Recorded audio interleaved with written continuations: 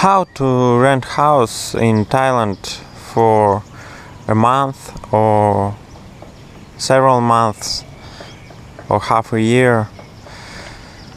Uh, you can use uh, services like Airbnb.com or similar to find some property, but if you need a really cheap property, you should come to the city you want and uh, start searching by walking around. It's better to start your searching from district where there is university or some schools. But uh, if you know these uh, districts, and uh, it's better to use uh, SIM card, the internet, uh, to have uh, Google Translate and you should translate uh, to Thai language phrase like uh, I searching for the room or for the house for one month or two months and just show this to the owners of hotels.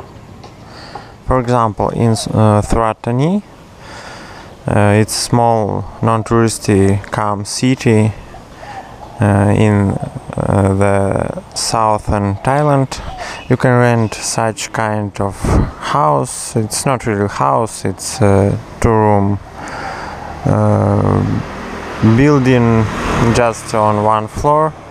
I think you can rent it for 5000 baht. And without anything inside so it's absolutely empty. You should buy everything you see sign that there are rooms for rent for 3000 and half uh, baht per month here. Uh, you can rent a room here or here but the last one is kind of expensive I think about 7 to 10,000 per month. Uh, by the way there are many such kind building here uh, where you can rent a room for uh, different price from it's about four to seven thousand baht per month. Uh, you can also rent such kind of room. It's very very cheap about one and a half thousand baht. But it's uh, very uncomfortable. No i think no fan no air conditioning and it's very small and dark. You can find many such signs in the city. Uh, for example, this one tells us that uh, daily price uh, 590 and monthly price 4500 the price depends on city uh, Surat Thani is very cheap but in some tourist cities uh, you can find uh, much more expensive price maybe uh, twice or three times more expensive. And in Thailand there is a rule that you should pay deposit uh, at least uh, uh, one month ahead. So if you want some property for one month you should pay for two.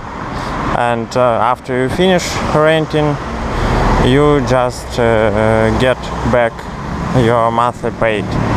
And uh, you should pay for water and electricity separately. But it's not uh, kind of expensive.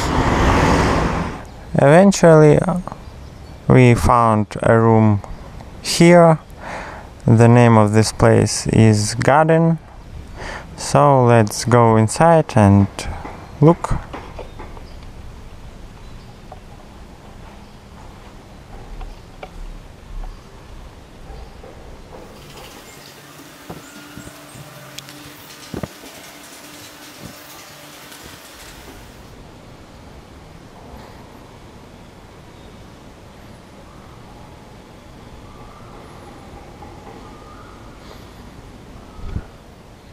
and eventually for 4700 baht uh, we got a huge size bed uh, wardrobe, TV set with satellite receiver, fridge, table, uh, chair, uh, nice balcony, but uh, a bit small one, uh, bathroom, this bathroom, towels, bed linen,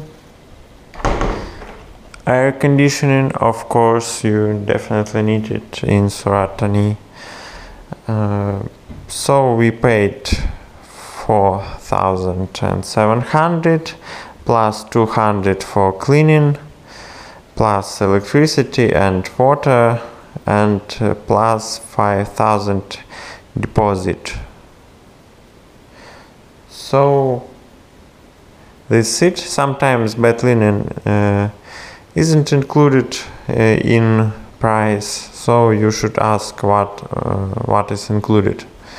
And uh, of course Wi-Fi. So it's easy to find such uh, room. So you will definitely find something. Subscribe to my channel. Good luck. See ya. After we did uh, checkout I want to add that we paid uh, 7400 baht. And uh, but we were supposed to pay 4700 baht. So we paid for electricity. We paid about 2000 for electricity about 200 for water and uh, 200 for cleaning.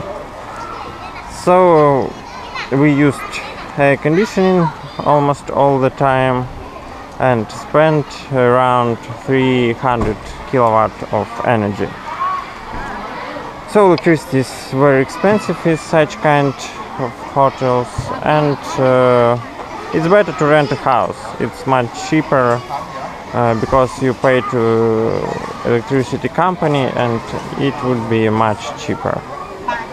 So that's it. Good luck